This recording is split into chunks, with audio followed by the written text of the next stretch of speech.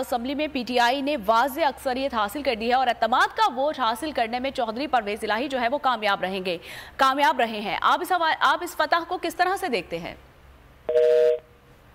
बहुत शुक्रिया जी। आप इस कॉन्फ्रेंस सुन ली और उनकी कामती आवाज़ और अल्फाज उनके जहन के मुताबिक जो थे, वो बाहर निकल रहे थे। ज़ुबान कुछ और कहना चाह रही थी, दिमाग कुछ और सोच रहा था, घबराहट का आलम था अपनी तरह जब स्पीकर ने ये कहा जब मैंने रेजोल्यूशन पेश की और स्पीकर ने ये कहा कि जनाब पाँच मिनट तक घंटियाँ बजाई जाएँ और उसके बाद जिन्होंने परवेज लाई को वोट करना है वो राइट पे स्पीकर के निकल जाए आइस में जिन्होंने उनके खिलाफ वोट डालना है वो नोज़ पे उस साइड पे निकल जाए। तो उन्होंने तूफ़ान बदतमीजी की स्पीकर की आ, आप आपके पास ज़रूर मौजूद होगी नहीं तो आपको सुबह मिल जाएगी असम्बली कितनी बदतमीजी की, टेबलें उठा उठा के मारी। ये कोई एमपीए थोड़े थे? ये तो मोहल्ले के कोई लफंगे लग रहे थे। जो आदती, जो जो वारदाती हो जो आदि मुजरम हो शर्म आ रही थी असम्बली में बैठे हुए। ये देखते हुए कि इस तरह के एम आते हैं? इस तरह की वारदात करते हैं असम्बली के अंदर? ये लोगों को मैसेज दे रहे हैं। आप देखिए तो सही किस तरह से इन्होंने वो टेबलें और कुर्सियाँ उठा उठा के की हैं। ये तो ऐसे था जैसे बदमाशी है राना सनावला तो पिछले तीन दिन से बदमाशी पे उतरा। और कह रहे हैं, आप अल्फाज साथ नहीं दे रहे, जबान का दिमाग घबराए हुए हैं, घबराहट का आलम है, और उनको कुछ पता नहीं चल रहा। तो जब एक सौ छियासी मेंबर तो अभी कैमरे की आँख ने देखा है ना, हमने रिकॉर्ड किए हैं, हर किसी की तस्वीर दी है, वहाँ से जो आइस से गुजरा है, एक सौ छियासी अरकान पूरे करके और दे दिया। हमारे एक दो अभी मेंबर्स नहीं आए, कोई मसला नहीं।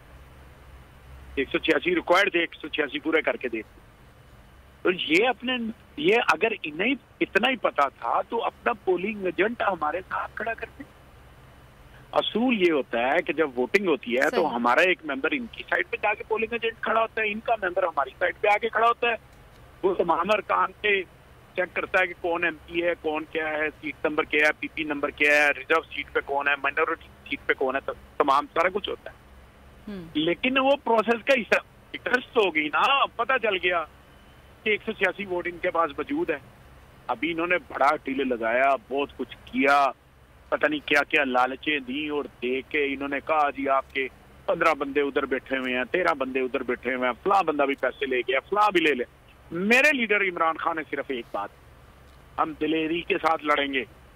हार जीत अल्लाह को पता है, हम दिलेरी के साथ लड़े हमारे तमाम एम हमारी तमाम एमपीएस बहनें माइनॉरिटी मेंबर बिल्कुल एक इकाई की तरह उन्होंने होकर लड़ा और माशाल्लाह मैं समझता हूँ कि उन्होंने कमाल कर दिया और आज इनको शिकस्त फाश हुई है अल्लाह हक है और हमेशा जो है वो जो सच होता है वो गालब आके रहता है। ये सच था।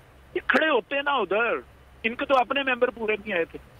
ये चैलेंज करते हैं कि जनाब आपका वोट जो है फ़र्ज़ करें आपका ये फलाम बंदा नहीं आया। हमने तो इसी वजह से तमाम फुटेज भी बनाई है तमाम एम की।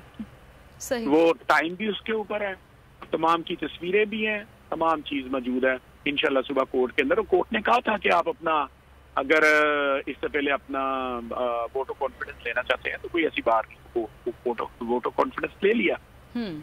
और वाजे कर दिया कि पाकिस्तान तरीके इंसाफ और क्यू लीग एक ही एक ही जगह पर खड़े थे सबने मिलकर वोट दिया इनको शिकस्त हुई है। और जब ये हार रहे थे तो राना सनाउल्ला की हदायत के ऊपर तूफ़ान बदतमीजी असम्बली के अंदर किया गया। जान के लड़ाई की तरफ़ चला गया। ये वारदात ही है ये इन्होंने एक और वारदात करनी इन्होंने कोशिश करनी है कि सूबे के ऊपर गवर्नर राज लगाया था इन्होंने कोशिश करनी है क्योंकि वारदात के ज़रिए होंगे ना। अदरवाइज़ इनके पास ना कभी नंबर पूरे हुए हैं ना इन्होंने साफ़ सुथरी कभी पॉलिटिक्स की है। हम्म। इन्होंने हमेशा पैसे के ज़ोर पे की है।